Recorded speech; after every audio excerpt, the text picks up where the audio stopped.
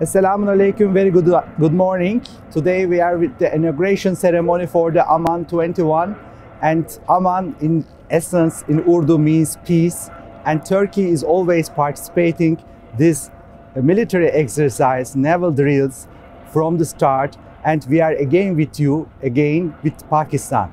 And the, we are together for Peace Day.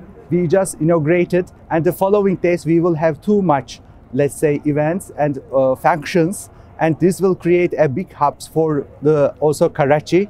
Thank you very much. Together for peace.